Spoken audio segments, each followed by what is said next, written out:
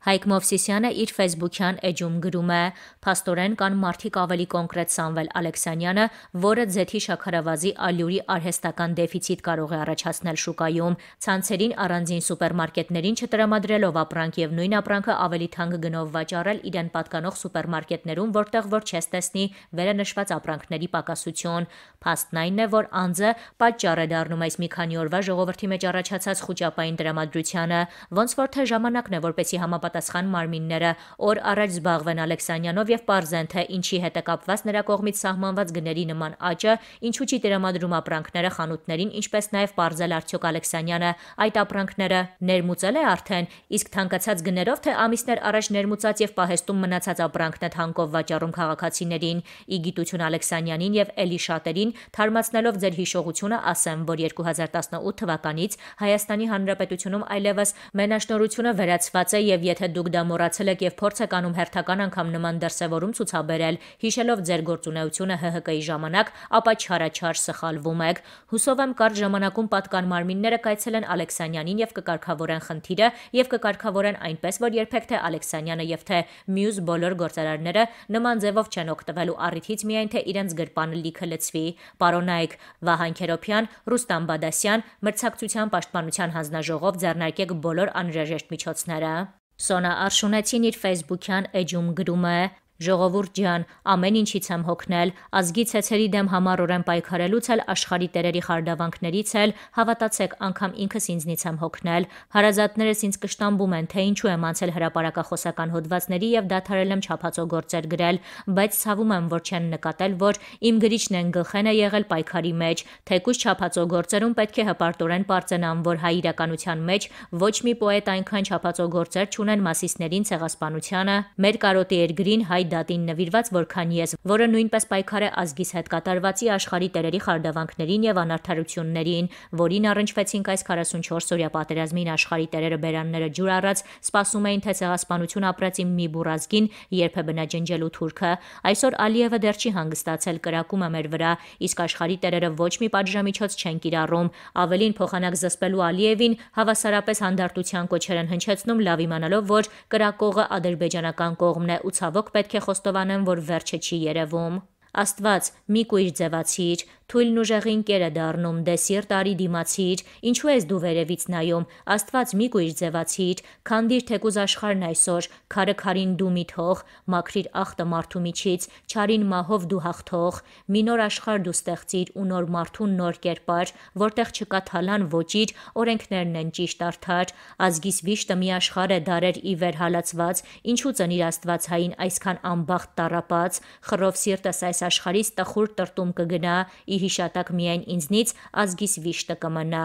Բրյուսել 2000 թվական 3004 Պատրել եմ ուզում դիմակն աշխարի, ուր էիք այդ ժամտերեր աշխարի, երբ շուրջ 4 տարի Արցախ աշխարում ջրի տեղ հայի արյունն էր հոսում, ուր էիք կորել աշխարի տերեր, ինչքան դիմանանք կեղծիքներին ձեր, պատասխան տվեք, խոսեք վերջապես, դուք արյան ծառավ ստոր երկերես, ձեր բարձունքներում նստած անհոգի, ինչու եք լռում 4 երկար տարի, ներկայացում էիք դիտում թատրոնի, սպասում անհամբերազերին հաղթի, դուք ինչու չէիք այդ ժամ բարբարում հայոց նախորյա եղերնը կանխում, անզոր էիք ձեզ անverջ ձևացնում, թե սպասում էիք, որ շունազերին ցեղասպան եղած մի բուրի մազգին իսպար հոշոտի, աշխարի երեսից հայ ազգին ջնջի, հայի արյունը հոսեց գետի պես, բայց հայը հաղթեց աշխարին իտես, այսօր զինում եք թուրքին ցեղասպան, մեզ հետ խաղում եք ընկեր բարեկամ, ժողովրդավարի անուն եք հանել, կեղծ դեմոկրատիա եք ձեզնից հորինել, փոքր ազգերին ոդքի տակ տալիս ավար բաժանելիս մեյդան եք գալիս, ու մեծ պատարը դուք ամեն գնով միայն ձեզ հատուկ խարդավանքներով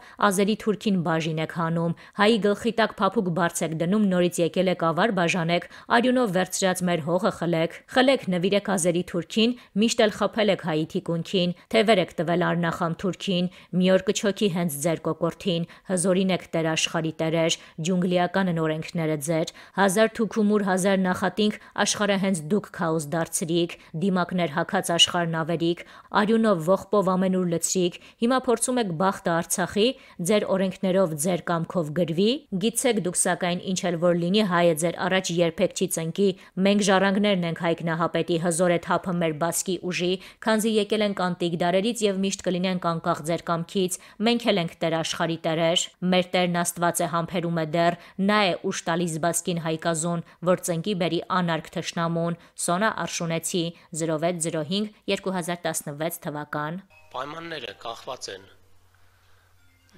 ուրեմն ինչպես ասեցի մարժայից, որը կազմում է նվազագույնը 0.05% եւ ուրեմն SDR-ի ուրեմն տոկոսադրույքից, որը սահմանվում է արժութային միջազգային հիմնադրամը ամեն տարի։ Այս պահին SDR-ի տոկոսադրույքը կազմում է 1% եւ մարժան կազմում է 0.197% պետք է նշեմ, որ այս մարժան աճելու միտում ունի, այսինքն տարվա սկզբից, եթե մենք ունեինք, ինչպես նշեցի,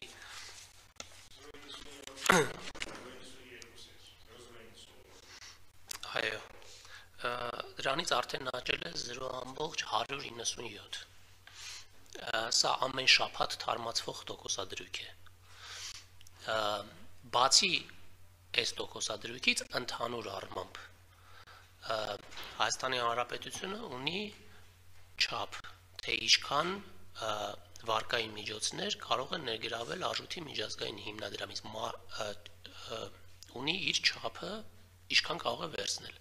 Դա կազմում է 128 միլիոն ՀՓ-ի։ Երբ որ Հայաստանը այդ չափը գերազանցում է 187%-ով, այդ գերազանցած չափի մասով վճարում է հավելյալ 2% վճար։ Այսինքն այստեղ մի տոկոսադրույք չի, որբիսի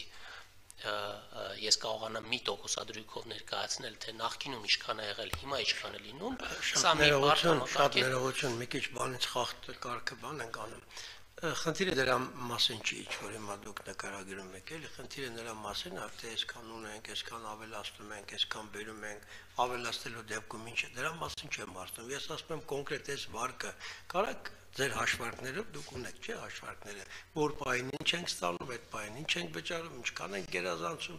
ինչ ավելանում եւ այլն։ Կոնկրետ այս վարկը կա մի թվով ասել, ինչ տոկոսով ենք վերցնելու։ Ինչա մեր վրա նստելու որպես տոկոս։ Մի թվով։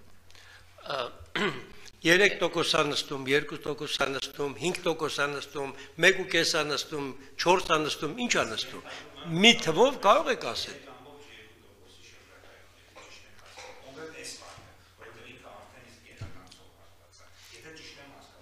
նայած որի վրա են կիրառում, այսինքն եթե մենք ամբողջ արժույթի միջազգային հիմնադրամի կողմից վերցրած վարկի վրա կիրառենք այդ ավելան 2%-ը,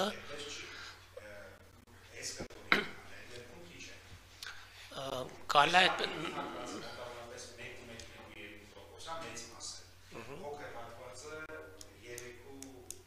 3-2%։ Բայց այնքան ժամանակ, քանի դեռ մենք չենք վարել։ Այս վարկը մեր վրա նստել է 3 3.5%-ի սահմաններում, հա։ 3.2, 3.2, քանի 3